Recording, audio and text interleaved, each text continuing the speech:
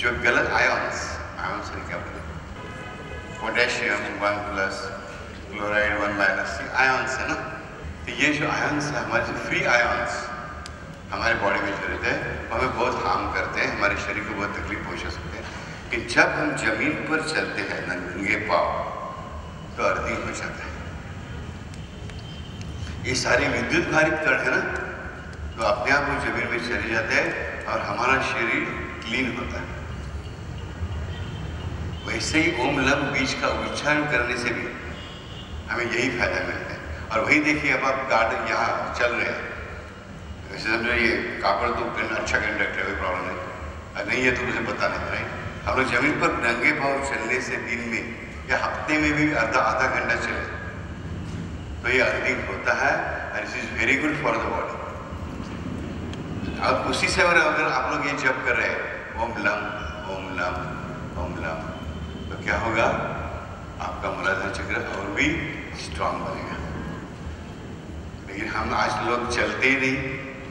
चलते हैं तो शूज़ पहन कर ही चलते हैं। पैर के थोड़ी सी भी मिट्टी लगी तो बाप ने क्या क्या क्या क्या हम लोग तो बचपन में खेलते थे ना, मैं कुछ गवार नहीं हूँ, बम्बई का रहने वाला था।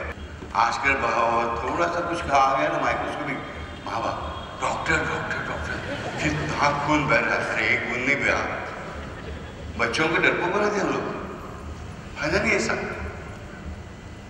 मैं ऐसा ना कि आप जख्म हो जाए तो मिट्टी लगाओ। नहीं यार, वैसा नहीं बंद करेंगे आई एम डॉक्टर हम लोग, मिट्टी पर चलना चाहिए, इसलिए बोल रहा हूँ। मिट्टी का, ज़मीन का कांटेक्ट हमारे बॉडी के साथ बहुत आवश्यक है।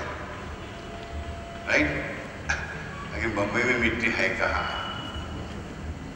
रोड पर नहीं तो अपने घर पे बाजू में तो कम से कम जो थोड़ा पार्ट है वह अच्छा कंडक्टर होता है इलेक्ट्रॉन्स का। ओके तो उस पर चल के देखिए, हफ़्ते में सिर्फ़ आधा घंटा।